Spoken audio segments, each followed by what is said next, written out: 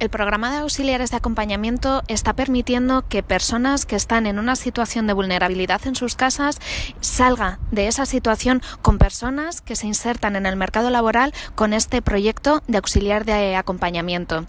Desde la Concejalía de Servicios Sociales, junto con la de Empleo, apostamos por renovar este proyecto porque ha supuesto más de 6.000 atenciones en un solo año, lo que nos lleva indudablemente a continuar con este proyecto y sobre todo reforzar el trabajo que están haciendo las auxiliares de acompañamiento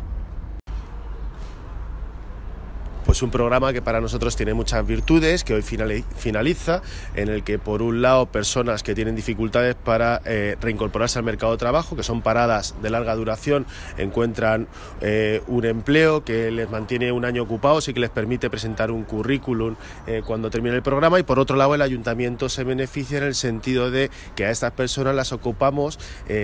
intentando mejorar la vida de las personas mayores en situación de soledad. Para nosotros un programa redondo donde las personas aprenden, se forman, eh, mejoran su posición para encontrar un trabajo y por otro lado mejoramos los servicios públicos de la ciudad de Leganés.